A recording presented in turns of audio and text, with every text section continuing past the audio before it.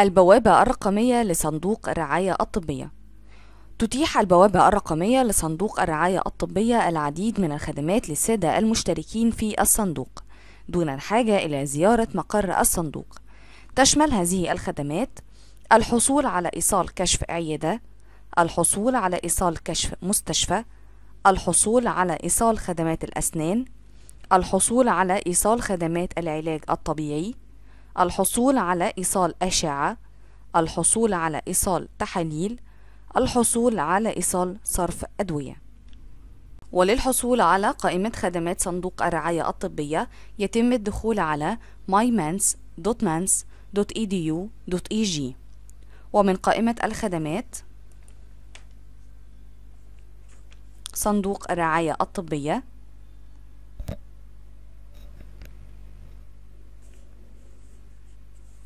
أولا كشف العيادة. يمكن للمشترك الحصول على خدمة الكشف في أحد العيادات سواء لنفسه أو لأحد التابعين باتباع الخطوات الآتية. يقوم المشترك بتحديد متلقي الخدمة من قائمة المستفيد تحديد تاريخ الحجز اختيار كشف عيادات من قائمة نوع الخدمة تحديد التخصص المطلوب من قائمة نوع الفحص. تحديد اسم الطبيب المعالج. ثم الضغط على حجز. بعد ضغط المشترك على زر حجز يقوم النظام بتجهيز إيصال الكشف. يقوم المشترك بطباعة إيصال الكشف والتوقيع عليه في المكان المخصص لذلك. يتوجه المشترك إلى العيادة مصطحبا إيصال الكشف ويسلم المشترك هذا الإيصال للعيادة حتى تحتفظ به كدليل على تقديم الخدمة. وللحصول على خدمات لاحقة للكشف مثل الأشعات والتحاليل وخدمات الأسنان وخدمات العلاج الطبيعي لابد من الحصول على روشتة من العيادة. وبشكل اختياري يمكن للمشترك قبل التوجه إلى العيادة أن يقوم بطباعة قائمة التحاليل أو قائمة الأشعات أو خدمات الأسنان أو العلاج الطبيعي من قائمة كشف الأشعات والتحاليل. تحتوي هذه القائمة على جميع الخدمات المتاحة مكتوبة بخط واضح يمكن للمشترك بعد الحصول على الروشتة أن يطلب من العيادة تحديد محتويات الروشتة في هذه القوائم قبل المغادرة. ويستطيع المشترك فيما بعد أن يستفيد بهذه القوائم في تحديد المطلوب بسهولة من خلال بوابة الصندوق.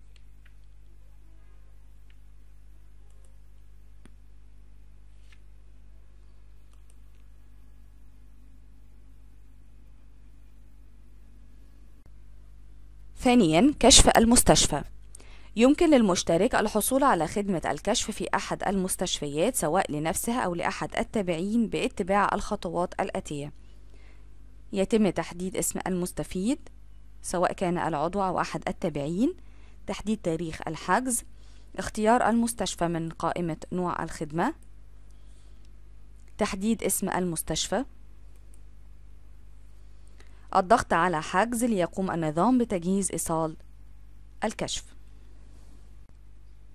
يقوم المشترك بطباعة إيصال الكشف والتوقيع عليه في المكان المخصص لذلك.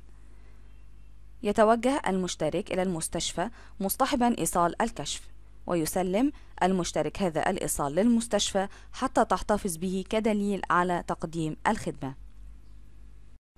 خدمات الأسنان بعد إجراء كشف الأسنان يمكن للمشترك الحصول على خدمات الأسنان باتباع الخطوات الآتية. يقوم المشترك بتحديد المستفيد أو متلقي الخدمة سواء كان العضو أو أحد التابعين. تحديد تاريخ الحجز. تحديد خدمات الأسنان من نوع الخدمة.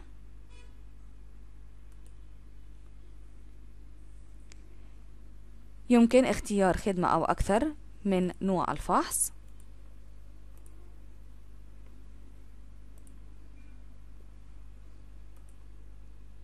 بالضغط على إضافة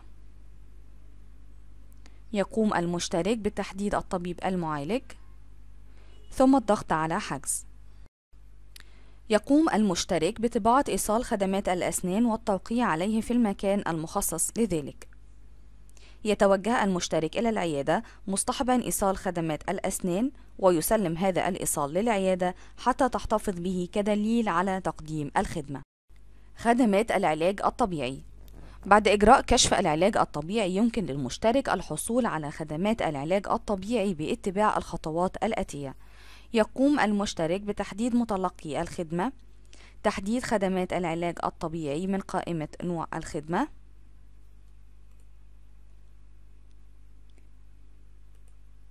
تحديد نوع الفحص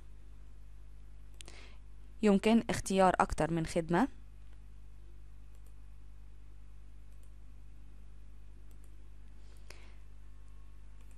تحديد اسم الطبيب المعالج ثم الضغط على حجز ليقوم النظام بتجهيز إيصال خدمات العلاج الطبيعي والذي يقوم المشترك بالتوقيع عليه في المكان المخصص لذلك.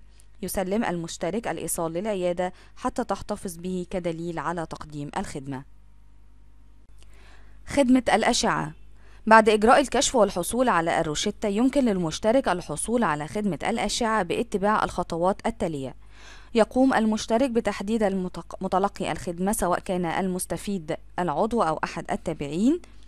اختيار نوع الأشعة. اختيار نوع الخدمة أشعة.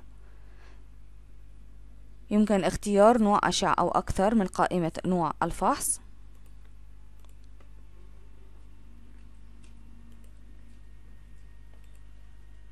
بالضغط على إضافة. تحديد الطبيب المعالج أو مركز الأشعة. هنا هنا يتم تحديد مركز الأشعة. ثم الضغط على حجز ليقوم النظام بتجهيز إيصال الأشعة. يقوم المشترك بطباعة الإيصال والتوقيع عليه في المكان المخصص لذلك ويقوم بالتوجه إلى مركز الأشعة مصطحبا هذا الإيصال ورشدة الطبيب.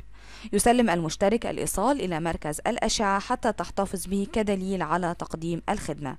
يقوم المشترك بتسليم روشتة الطبيب الخاصة بالأشعة كمستند مرفق مع الإيصال. خدمة التحاليل. بعد إجراء الكشف والحصول على الروشتة يمكن للمشترك الحصول على خدمة التحاليل باتباع الخطوات التالية. يقوم المشترك بتحديد المستفيد سواء كان العضو أو أحد التابعين. اختيار التحاليل من قائمة نوع الخدمة. تحديد نوع التحاليل من قائمة نوع الفحص. يمكن إضافة أكثر من تحليل.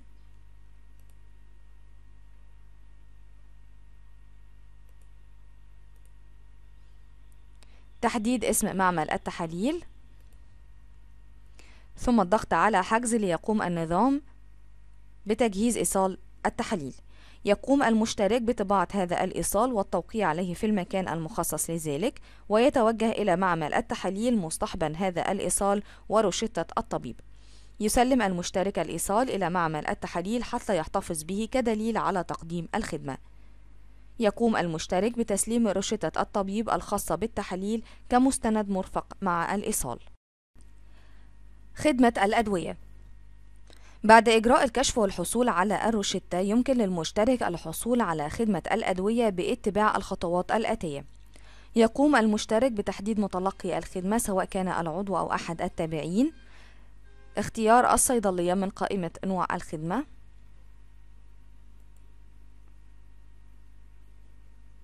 اختيار أدوية من قائمة النوع. تحديد الصيدلية التي سيتم صرف الأدوية منها. ثم الضغط على حجز ليقوم النظام بتجهيز إيصال صرف الأدوية. يقوم المشترك بطباعة الإيصال ولا يقوم بالتوقيع عليه إلا بعد صرف الأدوية المطلوبة. يتوجه المشترك إلى الصيدلية مصطحبا إيصال صرف الأدوية وروشتة الطبيب. وبناء على الروشتة تقوم الصيدلية بتسجيل الأدوية التي تم صرفها في إيصال صرف الأدوية. يقوم المشترك بالتوقيع على إيصال صرف الأدوية وتسليمه للصيدلية حتى تحتفظ به كدليل على تقديم الخدمة. يقوم المشترك بتسليم روشتة الطبيب الخاصة بالأدوية كمستند مرفق مع الإيصال. ملحوظة: أي إيصال صالح لمدة شهر من تاريخ استصداره ويمنع استخدامه بعد انقضاء المدة. يمكن إلغاء الإيصال قبل استخدامه عن طريق التواصل مع صندوق الرعاية الطبية. يمكن استصدار الإيصالات بحد أقصى إيصالين شهريا لنفس نوع الخدمة سواء كان للمشترك أو لنفس التابع. نشكركم على حسن المتابعة. مع تحيات مركز تقنية الاتصالات والمعلومات جامعة المنصورة.